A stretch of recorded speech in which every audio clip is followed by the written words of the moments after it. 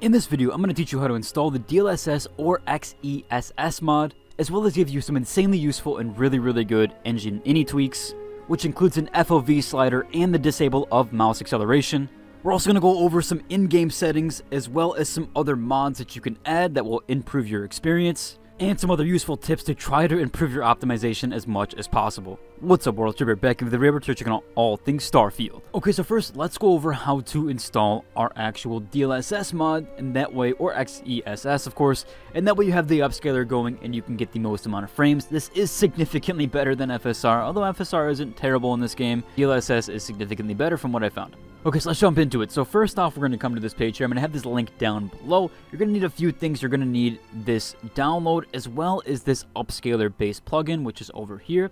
These files will be located into here as well. And you'll also need for either XESS, do believe there's a different website to download from. I'll have to find that location. I'll look out for it. You might have it here in the description. But regardless, if you can't find it, then I'm going to have that down below. And also for DLSS, the DLL files are here in Tech Power Up, so that's kind of where I knew where to go. You can come here. We're not going to be using any of the 3.0s. We're probably going to be using 2.5.1, although you might be able to put a 3.5 in there and, and just not use the 3.0 features. However, for now, I'd probably just use the DLSS 2. And as you can see here, actually on here, he actually does have the XESS thing here, so you can head over into that location and head into download that. So once we have all three of these files downloaded, including whatever upscaler you want to use, we'll have these, and hopefully you have WinRAR or 7-zip. I'll have a link down below for that too as well if you need. So we should have all three of these files here, and we'll kind of close them one by one as we go through here. But let's open up our main file structure. I'm going to have mine down below because it doesn't really matter, but it's going to be different for you. It's going to be in your program files, games, Steam library, Steam apps, Common, and Starfield. At least that's where it should most likely be. If it's Windows, it might be a little bit different, but just navigate into the actual directory of the game, and it should be fine. So first up, we're going to go ahead and drag these into our actual directory. You see that I already have them here, so I won't do that right now. Once we do that, we'll go ahead and close out of that so that we know we're done with it. Then we need to go into our actual mods folder. This won't be here. Drag this upscaler plugin folder right into here. And so then it will bring this into there. Once we have this structure set up here and we have the mods folder set up, again, that was already set up for you. We then want to navigate to our actual upscaler. We can go ahead and close this now, and we can grab and drag this into here. You should have both of these here, your, either your XESS or DLSS file, and we should have all that set up there. This stuff won't appear, or this log file won't appear until you actually launch the game. Once you launch the game, you need to hit the end key on your keyboard. It'll pop up a little dialog box. You can see it here also from the Nexus mods thing here. It should be enabled by default, but I'll go into more of the stuff. When we get under the graphics section, I'll go on to more of the stuff there and kind of how to enable all that stuff. Now we also have this little optimization stuff here that's being released. This guy's doing some engine INI tweak files. However, if you wanted to edit your engine INI tweaks or wanted to do for certain medium, low, high, or ultra settings, you do have that option here. So for example, he's editing these ultra settings here. He'll have this in the download or it gives a few optimization stuff here. You can check exactly what's being changed. For the most part, it's not an insane difference. There is a few things there that he changes in the ini file, but you could do this yourself. You don't actually need to download this mod. I'll include this link down below for this because he is updating the high, low, and medium ones, I think, as well. And for me, I tried it with Ultra, but it just didn't run very well. I'm not trying to play on Ultra. I'll show you my settings in a bit. So I hope he drops like a medium or high one, and I'll probably maybe end up trying that. But you can come into here and edit a few things if you wanted to. There's some stuff in here. You can reduce the shadow map resolution down right here, this th uh, 3072. There's also a location here in one of the postings, I believe, where somebody includes the exact things that he changes. And yeah, here's the exact stuff that he switches out. So you can kind of copy these if you want. You don't have to actually download his mod. You can kind of just do these yourself or just change a few of them, kind of see what he changes here, and it will have the changed location on the right there. And as you can see, I kind of already have his in here for the ultra settings. So I guess it does save. I thought maybe it'd be overwritten, but yeah, so my ultra settings are saved as his as I just kind of downloaded it and used it. And I also backed up it. If you do replace any files within your file structure, make sure you're always backing up. Do that easily by just doing dot back at the very end here and then that will make a backup of that file location or you can copy it to your desktop like I did and you can also have that there as well. Okay, so moving on to our next location. I'm going to have this down below too as well, but this should be under your user, documents, my games, and then Starfield. And in here, you will have probably preference, but you won't have this one. So what you want to do is you want to right click your desktop, hit new, and then hit text document, and then you're going to type Starfield, the capital, and then custom, as I did, dot .ini. You'll finish that off there. It'll create a new file and it will ask you, it will give you a little prompt to change it to an ini file. You go ahead and click yes, and then it will switch it over to this. You'll come into here, and these are the settings that I use. I'm to have these down below in the description down below, so you can actually copy these. I always play at 103 FOV in every game that I play. There's a few, few exceptions. Sometimes I play at 90, because sometimes it feels way more than it actually is.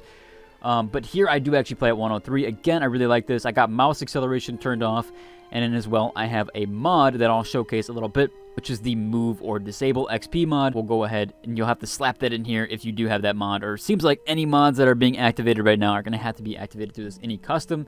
So I'll have this location down below, but these are really nice for mouse acceleration. It's really nice for your FOV slider, which is a big one. I know people have really wanted the FOV stuff. Here's how you do the FOV. You could do both of them for your player and your third person view first person, third person, and I kind of like both at 103. In fact, when you kind of zoom back on your player, it really doesn't feel like it should. It should be way farther back, and especially for the first camera angle there. So these are the two adjustments here for the camera and your FOV, and then mouse acceleration, as I said, and this is a mod. So these are two, or these are three really, really good things here. The mod I'll also showcase here really, really briefly. It's this mod. I've had a little bit of issues getting it working because I don't understand the file structure that he's asking for. He said put the mods interface folder inside Starfield's Data Direct. I did that.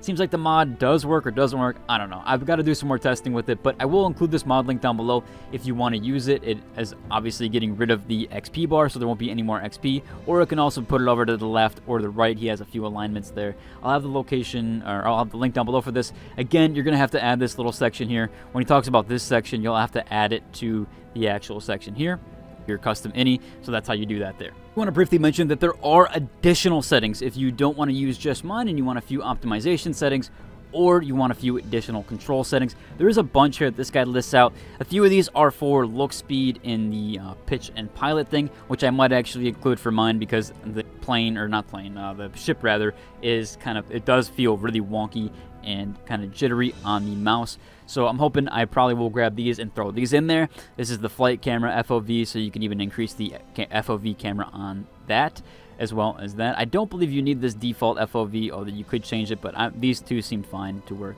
Again, I'll have this link down below and all of this stuff for his optimized settings if you want to kind of use this stuff. Here, there are a few additional ones that he kind of threw in, so I'll have these down below too as well if you want to copy these into that same location that we just showed you.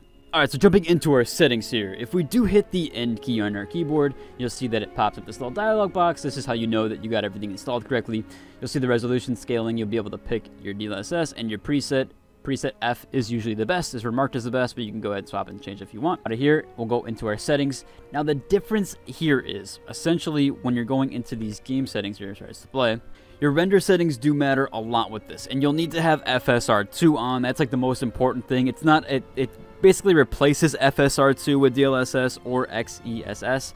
And so you'll need to kind of have this set on. You also need to have dynamic resolution on. Both of these are kind of in tandem with each other. You can kind of see my settings here of where I kind of have them on kind of a balanced scale. Now, outside in the city, I do get around like 40, 50 FPS. I'm on an RTX 2070 with a 5600X, so I don't have like the best setup or anything, nothing crazy. And in, then in interiors, I get about 70 to 80 FPS, which is actually really nice. The interiors actually feel really good. My resolution scale pretty down. Um, I, it, I've never done this before. I always play on DLSS quality mode, so for me, this is really low. I would recommend sticking with 60 and and just kind of enjoy that. Uh, although for me, this kind of knocks my frame down about 5 to 10 FPS, depending on the situation. It does look a lot better, as you can see here. I'll kind of showcase what it looks like at 50, but it is a lot lower frame rate overall. For the actual, when I go down to 50, you'll see that it just it just does feel a little bit better to me. This is more closer to, to my 50 FPS mark that I kind of wanted, although I kind of wanted even more than that. There is a bit of like, you could kind of see like jagged lines, and if you don't want to have stuff like that, then definitely head to the 60% mark, at least I would. Other than that, everything else seems about good. They The shadows are really good in this game. They don't seem to affect performance a ton, actually, surprisingly, because it's a lot of CPU intensity, so you might as well go with the shadow quality on high. Indirect lighting as well. Lighting doesn't seem to affect, as long as you have a good graphics card. I got reflections on medium, particle quality on medium. I've always noticed that these are really taxing in games, so I've kind of had those on medium. Volumetric lighting as well. I've had at low because I've noticed that that's usually taxing, although you could probably go to a medium it's still I, I, still think that it's like a bit of a yeah it is it is quite taxing of a setting. That was 5 FPS there loss. Will go out of the volumetric lighting. Now for crowd density I do have on medium. I'll use this on low if you wanted to. If you do have some CPU issues there motion blur off. GTA O oh, gonna have this on high. I do like the kind of shading that it does and the lighting that it does with this for the ambient occlusion. Then we have grass. I always have this on medium, especially for every game. Grass is always like really taxing. So I've always had that on medium. Again, contact shadows are always high for me. They are, I think, essentially like the shadows on the faces and stuff and those are usually you want really, really high-end games. I think I have this on high on Apex as well. All the lighting stuff you kind of want on high because this game is very CPU intensive. The biggest things is crowd density on low and maybe volumetric lighting is very really taxing, I've noticed. These changing from medium to high was only like a 1 FPS drop, if that, so uh, this was quite taxing. It was like 5 FPS, so I wouldn't do that. Field is obviously off. We're going to go on for VRS, of course, and then sharpening 70, film grain at 0, dynamic resolution, and we went over this 50% that does mostly cover for most things in here and kind of getting this game to run well. You can see that this is the, uh, for, for the, F, the FOV mod here. You see how nice it looks as the FOV is kind of stretched back. I think it's a good median there. And you see here's the first click out. So where viewport, usually it's a lot closer than this. It's a lot closer when you do this first one out. You see, we can see all the way back here. We have a nice, and it really, it doesn't actually lower the frame rate really at all. So I'm not sure why there isn't an FOV, FOV slider. Maybe it's for consoles and the parity there, but this does help, and it's a nice little simple engine engine INI tweak. I hope you enjoyed this video, and if you did, I'd like to subscribe. Until the next one, deuces.